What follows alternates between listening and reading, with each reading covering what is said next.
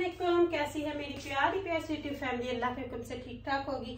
अल्लाह सबको अपने ईमान में रखे, दुश्मनों के शर से और शैतान की शैतानियों से महफूज रखे। आमीन सुमामीन यही तो आप मेरे लिए, बच्चों के लिए, आमद के लिए और मेरी प्यारी प्यारी फैमिली के लिए क्या करें कि अल्लाह सबको अपने ईमान में रखे, दुश्मनों के शर से और शैतान की शैतानियों से महफूज रखे। आमीन सुमामीन welcome back to my channel तो बस जी अभी मैं लगी हूँ आज दाल। क्या दाल गोश्त। आज बनेगा दाल गोश्त। तो बेसिकली चिकन का सालन पड़ा हुआ था, जैसे पकाया वैसे ही उसको फ्रिज में रख दिया, सिर्फ़ आमन ने और ईमान ने खाया। और किसी ने नहीं खाया, मैंने खुद भी नहीं खाया। मैं आपको सच्ची बताऊँ, मैंने भी बर्गर और चिप्स खा लिए थे। तो बच्चों ने तो बस इसी तरह, कभी कुछ और कभी कुछ। तो मैंने कहा, अब इसको इतनी महँगी चीज़ें हैं, फेंकूँगी तो नहीं, और खाना फेंकना वैसे भी मुझे पसंद नहीं है। तो अच्छा सबसे पहले आप मेरा सूट देख लें। ये खादी का कुर्ता था। अंगरखा स्टाइल है ये। बाजू इसके इस तरह। और बैक भी मेरे ख्याल से सेम ही है। साथ में मेरा अपना ट्राउज़र है कैपरी और ये कुर्ता था और ये भी मेरे ख्याल से पिछले साल का पता नहीं उससे पिछले साल का तो आ, बात कर रही थी। अच्छा तो पड़ा हुआ था तो मैंने कहा इसको तड़का लगा के तो चिकन को पहले करती हूँ। दाल मैंने भी गोदी हुई है। चने की दाल और फिर इसको चले एक दिन में खाया जाएगा और अच्छे से पीस लूँगी दड़ल कर लूँगी तो फिर वो बड़ा अच्छा सा टेस्ट देगा। तो वो मैंने सोचा चले और जो शॉपिंग करके आई हूँ, वो भी आप लोगों के साथ शेयर करूँगी। इनशाला इनशाला इनशाला करेंगे शेयर क्यों नहीं करेंगे शेयर शेयर ही तो करनी है हमने। तो बस चले, सबसे पहले तो दाल को पकना रखते हैं। मैंने कुकर ऑन कर दिया, दाल को पकने के लिए रखते हैं। फिर उसके बाद जो भी बात होगी, वो सारी आप लोगों के साथ शेयर करेंगे इंशाल्लाह ये देखें क्लोज से भी देख लें। तो चले, दाल को पकनी रखते हैं टाइम वेस्ट नहीं करते, फिर उसके बाद बातें करते हैं। दाल और गोश्त बनाने के लिए मैंने एक छोटा सा अनियन लिया है, छोटा सा क्यों लिया क्योंकि मेरे पास चिकन का सालन बना हुआ पड़ा है। क्योंकि किसी ने भी खाया नहीं है, सिर्फ़ आमर ने थोड़ा सा खाया, मेरे ख्याल से ईमान ने थोड़ा सा खाया, बस। बाकी पूरे का पूरा वैसे ही पड़ा हुआ था मैंने कहा फिर भी तो वही चीज़ें हैं ना पकानी तो मैंने कहा आज उसके अंदर डालती हूँ। चने की दाल।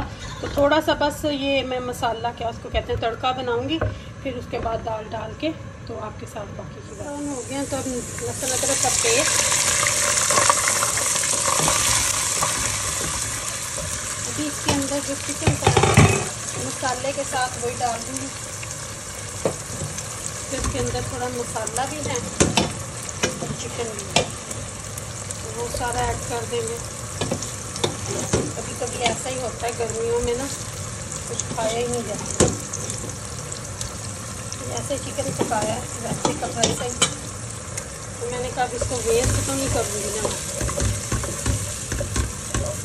इसको थोड़ा सा भूनेंगे, क्योंकि इसके मसाले में भी नमक मिर्च डाली हुई थी तो फिर इसलिए मैंने थोड़ा कम रखा है। यहाँ पे सिर्फ़ कम ही मसाले रखे हैं। नमक रखा है क्रश चिली रखी है, ज़ीरा, हल्दी और गरम मसाला। क्योंकि चने की दाल है, चने की दाल में गरम मसाला अच्छा लगता है। इसलिए बस अब इसकी दो से पाँच मिनट में इसकी बुनाई करूँगी, क्योंकि चिकन ऑलरेडी भुना हुआ है। तो फिर इसके अंदर दाल को ऐड करते हैं। पाँच मिनट के लिए इसको अच्छे से भून लूँगी। अच्छा जी, ये देखिए, माशाल्लाह से गोश्त जो है वो मैंने फिर दोबारा से पाँच मिनट के लिए भून लिया। चने की दाल को मैंने तकरीबन दो से ढाई घंटे भिगोया इसके साथ हो ना नान तो मज़ा ही आ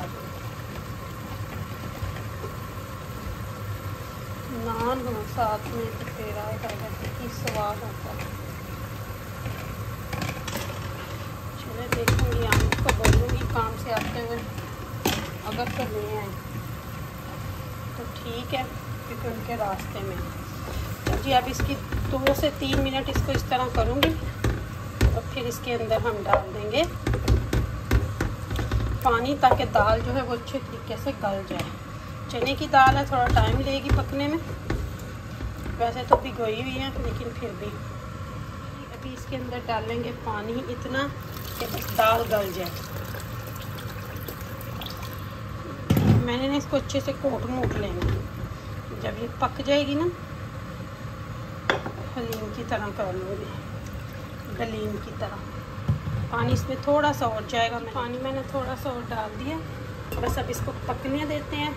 और अब ये पकेगी तकरीबन दो ढाई घंटे। दाल जो है तकरीबन तकरीबन पक चुकी है। तो अभी आपको दिखाती हूँ बैक कैमरे से दाल की अब तक की, अब तक की फाइनल लुक का ये तो। पक चुकी है, बड़े अच्छे तरीके से, बहुत बहुत बहुत अच्छी पकी है जमी। खुशबू इतनी अच्छी आ रही है तो चलो लोगों को दिखा। देखिए, बहुत मज़े की हलीम की तरह बनी है। तो ये है कुकर को बंद करते हैं ये देखिए माशा बहुत ही। अमीन जिस चीज़ का दिल कर रहा है, आ जाए, मैं लगी हूँ गर्मा गर्म रोटी बनाने और हमारे साथ आके खाएँ दाल को बच्चों को खाना वगैरह दे के किचन की अच्छे तरीके से सफ़ाई कर दी। और ये देखिए, पीछे अगरबत्ती भी मैंने लगा दी है। अभी बस मगरब की अजान होगी तो मगरब की नमाज़ पढ़ना पूरा अंदर जाऊँगी। वज़ू मैंने, माशाल्लाह, शुक्र अलहमदिल्ला कर लिया। आना, खाना खा के शावर में चली गई है। तेल लगाया हुआ था सर पे तो रबाब के भी लगाया था। रबाब अभी बाद में जाएगी तो मैंने कहा अभी थोड़ी देर है नमाज़ में। तो मैं अपनी देर में आपको अपनी चीज़ें दिखा दूँ कि आज कौन से पार्सल आए हैं। और कौन सी चीज़ मैं लेके आई हूँ? तो सबसे पहले ये खोलती हूँ मार्क्स स्पेंसर का। अरे मेरा ना ये बहुत ज़्यादा इसमें अब दर्द हो रही है। मेरे इस अंगूठे में ना ग्रिप भी नहीं है। तो ये एना ने चीनो ऑर्डर की थी समर के लिए ना। ये देखें ग्रे कलर है, बहुत अच्छा ग्रे कलर है। साइज़ सिक्स यही इनके साइज़ है छोटे छोटे साइज़ सिक्स। लेडीज़ में साइज़ सिक्स, साइज़ एट भी आ जाता है। और साइज़ सिक्स या एट ही मैं इनके लिए लेती हूँ।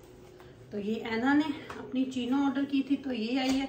ये मैंने आपको, ये देखे, खोल के भी दिखा देती हूँ। ये नीचे से इस तरह इलास्टिक वाली है और प्राइस इसकी है थर्टी टू फिफ्टी की आई है ये। इसने ली है और ये मैंने आप लोगों को बोला था कि हसनैन की है। इससे ना मेरे से प्रेशर ही नहीं पड़ता मुझसे से ना।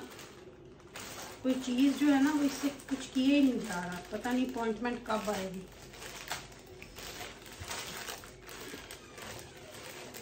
कुछ भी खोला ही, कुछ किए ही नहीं जाता। अच्छा जी तो ये है हसनैन की।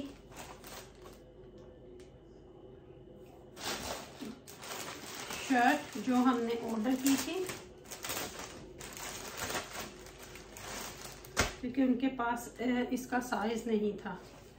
ये है वो शर्ट हसनैन की, जो आई है। तो ये सेवनटीन पाउंड की है। तो ये हसनैन की शर्ट हो गई। तो मुझे बहुत अच्छी लगी।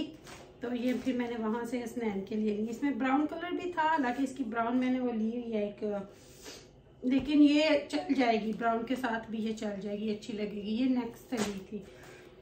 तो ये थी इनकी समर शॉपिंग कंप्लीट हो गई और नेक्स्ट से ही है पहले मैं आपको सारे कपड़े कंप्लीट दिखा दूँ। ये रबाब ने टॉप लिया है। एक्सचेंज किया है, बल्कि थोड़ा डिफरेंट कलर का था जो इसने पहले लिया था। ये देखिए। तो उसमें ना, वो उस दिन हम लेके आए हैं तो उसके होल था यहाँ पे, पीछे। तो वो फिर हमने एक्सचेंज करने गए थे। फिर ये उन्होंने ना एक्सचेंज करके तो फिर इसने ये वाला ले लिया। ये हो गया। ये रबाब की थी। और जो मैं बड़े अरसे से एक चीज़ ढूंढ रही थी, जो उस दिन मार्क्स एंड स्पेंसर में भी मैंने देखी जब गई तो वो दो तीन ही पड़ी हुई थी, वो सोल्ड आउट हो गई। वेबसाइट पे देखा तो ऑनलाइन भी खत्म हो गई। क्योंकि आजकल बारबेक्यू का सीज़न है और लोग जो है ना ये चीज़ें बहुत ज़्यादा लेके जाते हैं। और मुझे वैसे भी आपको पता है क्रॉकरी लेने का बहुत शौक है, बहुत बहुत बहुत ज़्यादा मुझे शौक है। तो ये मुझे चाहिए थी तो ये मैंने, ये देखें। इसमें आप ड्राई फ्रूट भी डाल सकते हैं, ठीक है? लेकिन ये ड्राई फ्रूट का प्लेटर मैंने नहीं लिया, क्योंकि ड्राई फ्रूट का मेरे पास ऑलरेडी था। ये जो असल में बेसिकली चीज़ है ना, ये समर में ही आपको मिलती है, इस मटेरियल में। जो दूसरे ड्राई फ्रूट के होते हैं ना, वो होते हैं, क्या उसको कहते हैं, चीनी के या ग्लास के। ये जो चीज़ है ना आपको, ये सिर्फ़ समर में ही मिलेगी। बेसिकली इसको बोलते हैं स्नैक प्लेटर यानी इसमें आप नेचोज इस तरह की चीज़ें डाल के मिडल में सॉस डालने के लिए। ये जो ये जो है ना, ये बेसिकली सॉस के लिए है।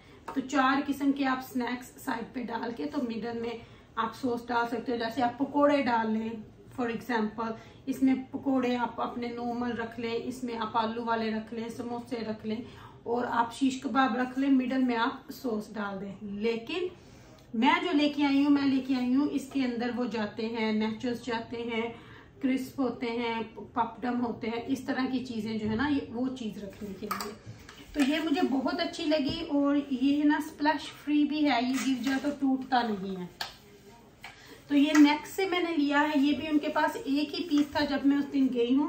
तो ये बल्कि मैंने रिज़र्व करवाया था, क्योंकि मैं उस दिन अपना कार्ड घर भूल गई थी। तो फिर मैंने ये रिज़र्व करवा के आई थी। परसों तो आज मेरा पार्सल आना था तो मैं, फिर मैं साथ में उठा कर ये ट्वेंटी टू फिफ्टी की थी जो मैंने लिया है, पर बहुत अच्छी, मुझे तो बहुत अच्छी लगी है।